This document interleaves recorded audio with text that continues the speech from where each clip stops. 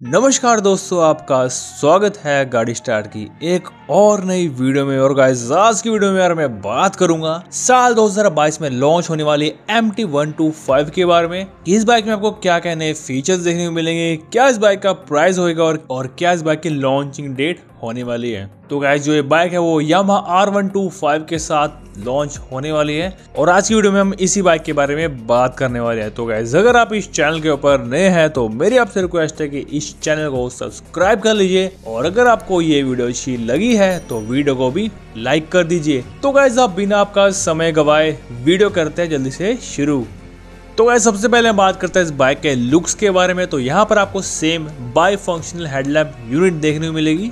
जो कि बहुत लो और हाई बीम पे वर्क करेगी और रेयर में इस बाइक में आपको एलईडी टेल लाइट देखने को मिल जाएँगी। और बात करें इस बाइक के गाइस लुक्स के बारे में कि कैसा होने वाला है इस बाइक का लुक्स तो गाइज़ अभी बहुत ही जल्द एम टी फिफ्टीन का एक नया वेरिएंट इंडियन मार्केट के अंदर लॉन्च होने वाला है और शायद उस वेरिएंट के जो लुक्स हैं वो एम टी ज़ीरो नाइन से थोड़े बहुत इंस्पायर्ड हो सकते हैं। तो guys M T one two five का भी लुक्स है, वो नई एम टी फिफ्टीन से इंस्पायर्ड होएगा।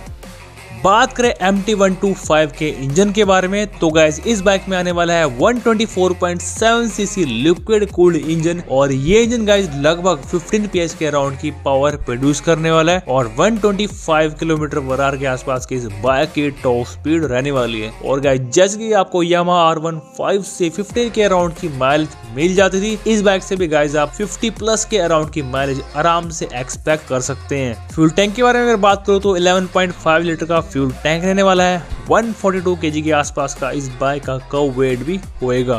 और जो इस बाइक का फ्रेम रहने वाला है, वो डेल्टा बॉक्स डिज़ाइन के ऊपर होएगा। और फ्रंट में आपको इस बाइक में टेलीस्कोपिक फोक सस्पेंशन देखने को मिलेंगे और रेयर में आपको मोनोशॉक सस्पेंशन देखने को मिल जाएँगी। बात करें टायर साइज़ की तो इस बाइक में आपको फ्रंट और रेयर में 17 इंचेस के व्हील देखने को मिलेंगे, जो फ्रंट व्हील की विड्थ रहेगी, वो रहेगी 100 एम mm की और जो रेयर व्हील की विड्थ रहेगी, वो रहेगी गाइज़ 140 एम mm की। और यहाँ पर गाइज़ सेफ्टी को माइंड में रखते हुए आपको इस बाइक में सिंगल चैनल एबीएस भी प्रोवाइड करेगी। कंपनी। और यहाँ पर अगर ब्रेक्स के बारे में बात करूँ तो यहाँ पर आपको फ्रंट और रेयर में डिस्क ब्रेक देखने को मिलेंगे। जो फ्रंट व्हील की डिस्क ब्रेक रहेगी, वो रहेगा 292 mm और जो रेयर डिस्क का डायमीटर रहेगा, वो रहेगा 220 mm का।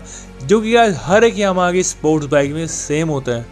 और जो Yamaha M T one two five में इंजन यूज़ हुआ है, वो सेम इंजन गाइज़ आपको Yamaha R one two five में भी देखने को मिलेगा। और बात करें इस बाइक के एक्सपेक्टेड प्राइस की तो गाइज़ जो ये बाइक है, वो आपको एक लाख पैंतालीस हज़ार ऑन रोड के आसपास की देखने को मिल सकती है। और अगर मैं लॉन्चिंग के बारे में बात करूँ तो गाइज़ अभी इस बाइक का एग्जैक्ट लॉन्चिंग डेट नहीं आई है मार्केट में बट गाइज़ जब भी इस बाइक की कोई भी एग्जैक्ट लॉन्चिंग डेट आती है, वो आपको हमारे टेलीग्राम के चैनल पे मिल जाएगी।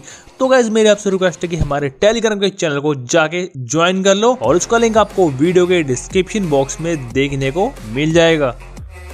तो गाइज़ अगर आप इस बाइक का बेसब्री से वेट कर रहे हैं लॉन्च होने का, वो प्लीज़ आप हमारे साथ कमेंट में शेयर कीजिएगा।